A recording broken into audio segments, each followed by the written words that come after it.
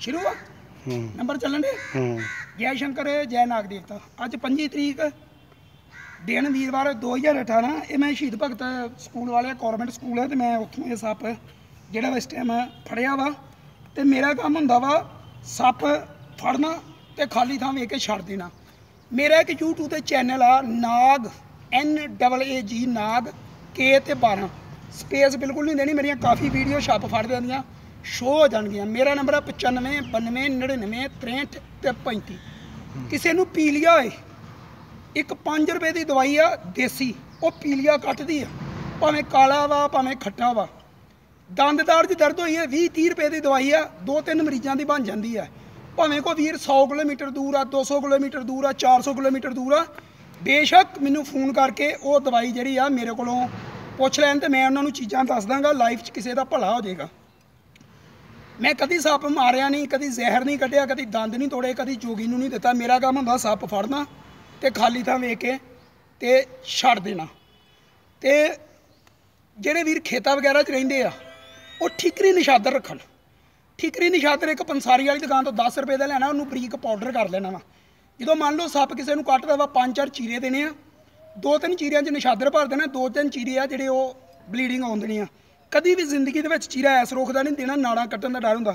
ਜਿੱਦਾਂ ਇੱਕ ਵਾਰੀ ਦਾ ਹਮੇਸ਼ਾ ਹੀ ਚੀਰਾ ਇਦਾਂ ਦੇਣਾ। ਠੀਕਰੀ ਨਿਸ਼ਾਤਰ ਦੇ ਨਾਲ ਸੱਪ ਦਾ ਜ਼ਹਿਰ ਕੱਟਿਆ ਜਾਂਦਾ ਵਾ, ਪਰ ਆਮ ਲੋਕਾਂ ਕੋਲ ਇੰਨਾ ਦਿਲ ਨਹੀਂ ਹੁੰਦਾ। ਜਿਹੜੇ ਜ਼ਿਆਦਾਤਰ ਲੋਕ ਆ, ਸੱਪ ਦੇ ਜ਼ਹਿਰ ਨਾਲ ਨਹੀਂ ਮਰਦੇ, ਸੱਪ ਦੇ ਟਹਿਲ ਨਾਲ ਮਰਦੇ ਆ। ਤੇ ਡਾਕਟਰ ਕੋ ਜਾਂਦਿਆਂ ਤੁਹਾਨੂੰ ਅੱਧਾ ਘੰਟਾ ਘੰਟਾ ਲੱਗਦਾ ਵਾ, ਇਹ ਤੁਹਾਡਾ ਇੱਕ ਟ੍ਰੀਟਮੈਂਟ ਮੌਕੇ ਤੇ ਸ਼ੁਰੂ ਹੋ ਜਾਂਦਾ ਵਾ।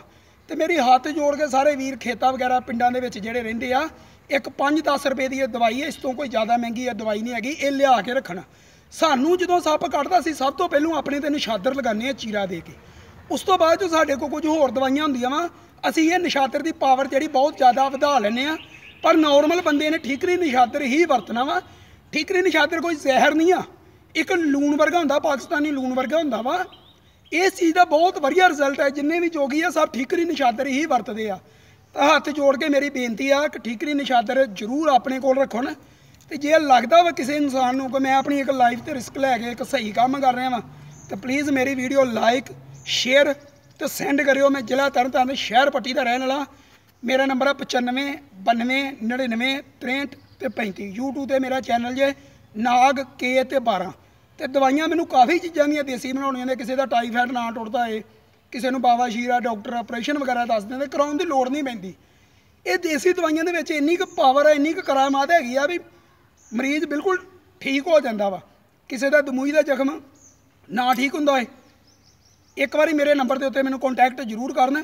ਮੇਰਾ ਇਸੇ ਨੰਬਰ ਤੇ ਹੀ WhatsApp ਚੱਲਦਾ ਵਾ, ਤੇ ਜੇ ਕਿਸੇ ਨੇ ਵੀਡੀਓ ਲੈਣੀਆਂ ਹੋਣ ਤਾਂ ਤਾਂ ਵੀ ਮੇਰੇ ਨਾਲ ਕਨੈਕਟ ਕਰੇ ਤੇ ਮੈਂ ਉਹਨਾਂ ਨੂੰ ਸੱਪ ਫੜਦਿਆਂ ਦੀਆਂ ਵੀਡੀਓ ਵੀ ਪਾਵਾਂਗਾ।